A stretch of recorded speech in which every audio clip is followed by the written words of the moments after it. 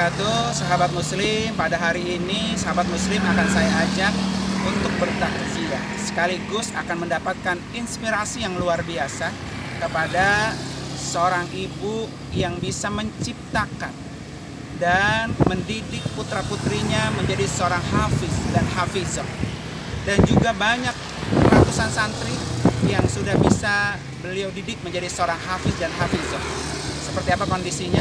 Karena pada hari ini tepat pada tanggal 12 Ramadan 1441 Hijriah dan juga 2020 beliau telah dipanggil oleh Allah untuk selamanya. Innalillahi wa inna ilaihi rajiun. Semoga kita doakan Umi ini almarhumah senantiasa menjadi manusia yang inspiratif sepanjang sepanjang hayatnya dan sepanjang juga umurnya.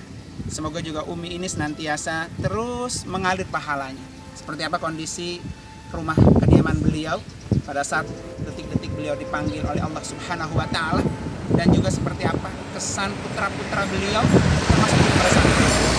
Simak terus liputan kita pada hari ini hanya untuk Anda sebagai ibu-ibu inspiratif. Sahabat muslim, Alhamdulillah pada hari ini kami turut hadir bertakziah ke makamnya Umi yang pada hari ini tepat tanggal 12 Ramadan 1441 Hijriah dipanggil oleh Allah untuk selamanya. Dan saya ini uh, secara langsung bersama putranya yaitu Bapak Kiai Haji Samsuri. Pak Kiai anak yang keberapa? Saya anak pertama. Anak pertama. Pak Kiai yang paling uh, diingat Pak Kiai dengan Umi itu apa? Hmm. Ya, dia tengahnya siapa dua? seorang ibu yang sangat Nih, tuh. perhatian sama sangat lembut, sangat bijak terhadap anak-anak. Sehingga di antara kasih sayang beliau sama anak itu beliau tidak pernah meninggalkan Nah itu. Sa- puasa Untuk anak. untuk anak Hari kelahiran setiap hari lahiran dan dia mulai untuk mendoakan. Dan selalu ketika beliau dia mulai itu beliau menyediakan air botol aqua yang didoakan kemudian baju-baju itu dikasih anak kecil. Botol aqua yang dibacain Quran kemudian didoakan buat putra putrinya itu. Umi eh, punya anak berapa? Semuanya sebenarnya ada hmm, enam saya nomor satu kemudian ada Nabi Mahdi kemudian Bapak Yumi kemudian Neneng Holia kemudian ada yang meninggal namanya Ahmad Mubarak Nah, kurangnya tanam. dari yang terakhir JJ yang sekilas tangganya. Tangga putar putar. Kemudian enam, kemudian yang lima? Dari lima itu pakai Umi mampu mencetak eh, pertama sebagai ahli Quran. Bisa baca Quran dengan sangat baik. Yang kedua mampu mencetak sebagai hufaz semuanya hafal Quran kayak dari lima putra putri Umi ini. Hmm, satu yang tidak, tidak hafal. tidak keseluruhan Iya. tidak keseluruhan hafal.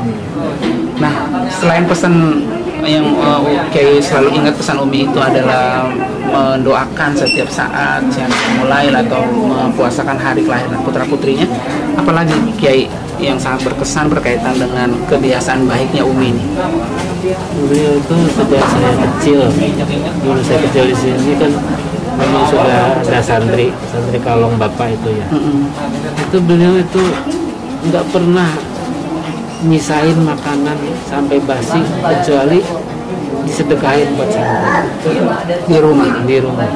Pokoknya ada nasi, ada apa, ada kue. Pecah sini. Ada. makan nih. Makan nih ini kue nih. Jadi beliau memang termasuk orang yang ahli sodako juga. Ahli sodako daripada santri terutama. Kemudian kalau masak nih Saya sering waktu masih SD masak aja, masak apa aja nih? Sayur asem tuh apalagi yang enak-enak bangsa daging. Itu pasti. Game. Satu piring atau dua piring nyanterin sana udah anterin tetangga. Selalu bagi tetangga. Kawat mana tadi? Saya dong kawat? ingat pesan guru waktu di atas pak juga tebak sama rokotan traktir maha itu. Iya, betul. ternyata beliau sudah mengamalkan itu hal itu. Apa aja punya apa aja lah. Juga gitu nah itu. pelajaran yang baru saya sadari ternyata oh ini gitu. Pelajaran eh, untuk berbagi ke sesama gitu. Yang beliau tanamkan kepada anak. Ya, alhamdulillah nilai-nilai itu melekat di dalam diri kami gitu. Sehingga alhamdulillah antum ya sedikit banyak mengikuti apa namanya jejak beliau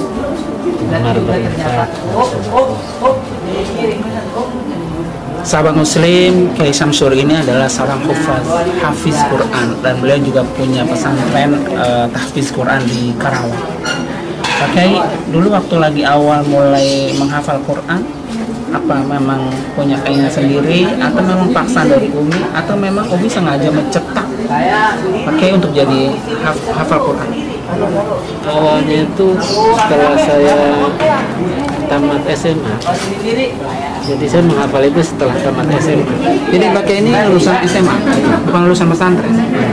lulus SMA sahabat muslim bahwa tidak ada hal yang tidak mungkin ya walaupun pakai ini lulusan SMA tapi ternyata beliau ini ya seorang hafiz Quran yang luar biasa. Jadi kembali lagi pertanyaan tadi Pak Kiai ya awalnya seperti apa? Saya lulus SMA di Cirebon di SMA Fatahillah Cirebon. Itu pulang ke rumah ditanya sama bapak. Sam sekarang mau ke mana mau kuliah? Atau mau pesantren? Atau mau nikah dikasih pilihan tiga saya jawab belum tahu pak.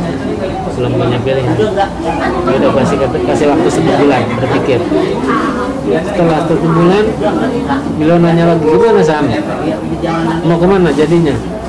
Kuliah mau pesantren atau mau nikah? Saya belum punya pilihan Pak. hanya beliau yang nyeletuk gimana kalau menghafal Quran ah kata saya menghafal Quran di mana pak di kawan baba Banten. Di kawan. Apa saya bisa pak itu kanncing lu pada ngapal Quran katancing ngaji Nur Baiti cing ngaji Isyana dia bisa masa nggak bisa? Ya, Bismillah kalau kata menurut baba ya, baik seperti itu ya Insya Allah saya. Kan kita ke Banten. Di rumah pesantrennya Kiai Ahmad Junaidi pesantren Al Muhajirin Cikadua di Banten kawan beliau juga kawan bapak. Kita dititipkan di sana Alhamdulillah dengan izin Allah kurang dari satu tahun ya, saya dikasih. Allah menyelesaikan setoran kurang dari satu tahun lalu bisa saya selesaikan. itu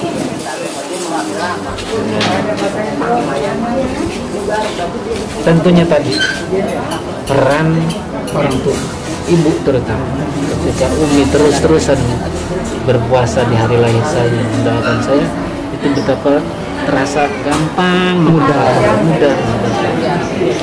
Jadi keberhasilan saya ini semuanya nggak lepas dari perjuangan perjuangan beliau beliau saya terutama Ya. ayah saya memberikan semangat ibu yang memberikan spirit secara batin itu di antaranya.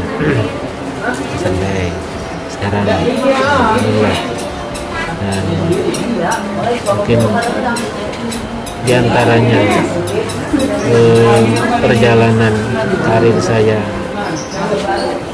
di dalam dunia tahfidz ini bagian dari mustajabnya doa Umi itu saya berkesempatan mewakili Indonesia di MHK Internasional di Mekah tahun 98 Kayak ini aja nih ini dapat juara dua saya juara dua internasional. Di Mekah bagian juga dan setiap saya ikut pun event MTQ sama itu. Kalau MTQ saya MTQ nya satu minggu itu Umi puasa seminggu luar biasa. Selama saya belum pulang MTQ nya berpuasa. Pulang juara baru berhenti gitu begitu dan begitu. Punya anak yang pergi MTQ masak yang lain juga sama. Baik saya mau ujian nih saya gue puasain gitu. Apa aja asal bilang dia tahu anaknya lagi punya hajat pasti dia tirakat selama itu. Emang buat nyambung kalau kalau ini lagi kalau kalau bangun lagi gitu sahabat muslim eh, sosok Umi luar biasa sekali. Saya yang tidak pernah hidup dan tinggal bersama Umi tapi saya merasakan begitu dahsyatnya doa seorang ibu buat keberhasilan putra putrinya dan ini pelajaran yang sangat berarti buat kita semua selaku orang tua terutama ibu-ibu. Ketika memiliki putra putri dan menginginkan putra putri semua berhasil. Jangan lupa pesan Umi yaitu selalu mendoakan setiap saat dan juga dipuasakan setiap hari selama hajat anak itu masih dalam eh, dilaksanakan kemudian Kiai saya saya benar-benar sangat terharu dengan posisi Umi Eh, apakah almarhum bapak seorang hafiz juga? Bapak Bapak hafid Umi gak Memang Memang beliau ah, guru guru guru ngaji Quran ya guru ngaji tapi beliau tidak. Cuman kakek kakek. Berarti ayahnya bapak. Wah Haji Iping itu masyhur. Beliau itu hafal rawi.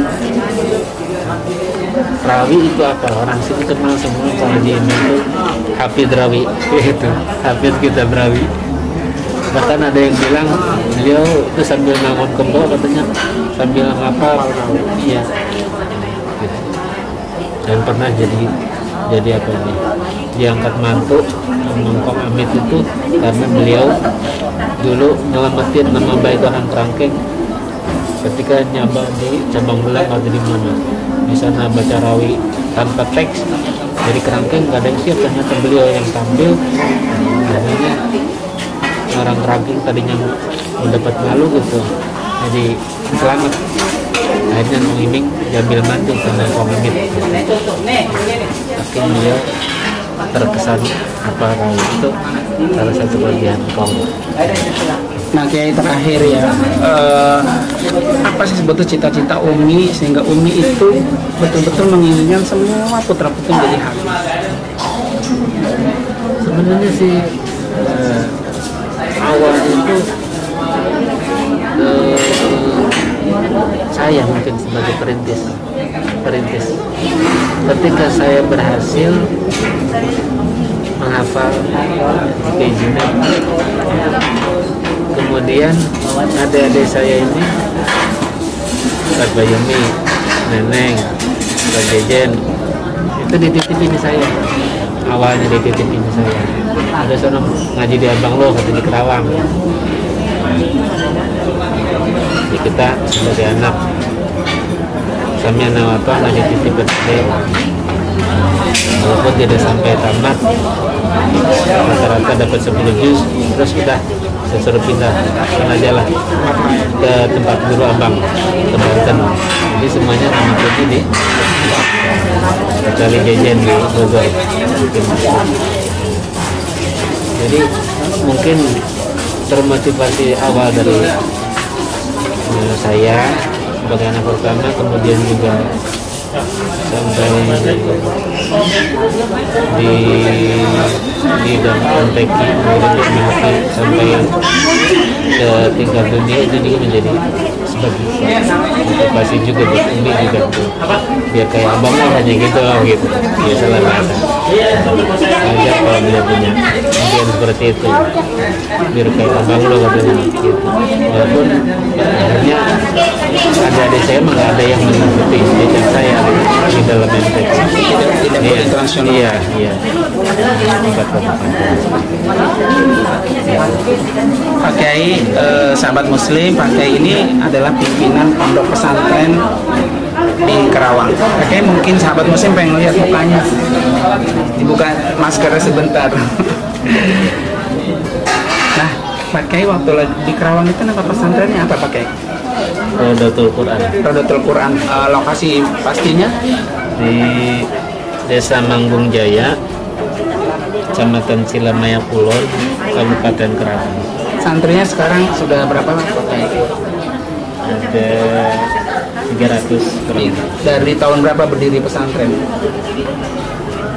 93 93 sahabat muslim inilah sosok eh, Kiai Haji Samsuri. Beliau adalah pemilik pondok pesantren apa kaki pondok pesantren Raudatul Quran yaitu tamannya Al-Quran di Kerawang. Bagi sahabat muslim yang ingin eh, memondokkan putra putrinya bisa langsung ke beliau ini. Karena beliau memang selain sebagai eh, hafiz Quran tetapi beliau juga sudah menjadi eh, penghafal Quran yang diuji cobakan di dunia internasional. Terima kasih Pak Kiai. Mudah-mudahan percakapan kita pada hari ini banyak inspirasi banyak orang dan tentunya yang terbaik buat Umi sudah menjadi sedekah penjariah. Terima kasih semua. Sahabat Kasih Terima kasih. Wassalamualaikum warahmatullahi wabarakatuh.